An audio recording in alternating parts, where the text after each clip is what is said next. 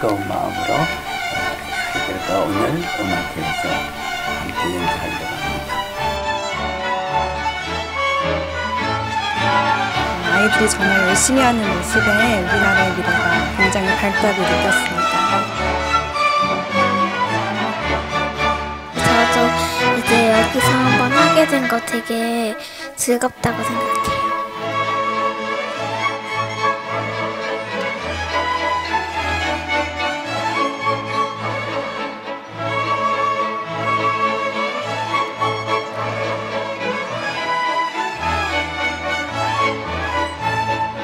연주를 못할 줄 알았지만 연주를 하게 돼서 정말 기쁩니다. 이상현 쌤이라 하다가 금난세 쌤이라 하니까 무섭습니다.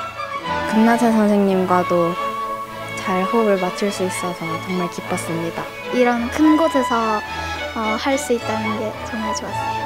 여기 있다는 게 자랑스럽고 행복해요. 개인적으로 대단하다고 생각합니다. TV에서만 뵙던 분들과 함께 합주할 수 있게 되어서 기뻤고 큰 무대에서 다 같이 오케스트라 단원으로 합주할 수 있게 되어 영광이었습니다. 지금까지 열심히 한 결과가 이렇게 맺어져서 정말 대단한 것 같습니다. 금난세 선생님과 함께 연주를 하게 되어서 정말 영광입니다. 연습한 만큼 결과 잘 나오면 좋겠습니다. 영화의 전당이라는 곳에서 금난세 선생님과 함께해서 정말 기뻤습니다. 코로나 때문에 정기 연주는 못할 것 같았는데 해서 너무 기뻐요.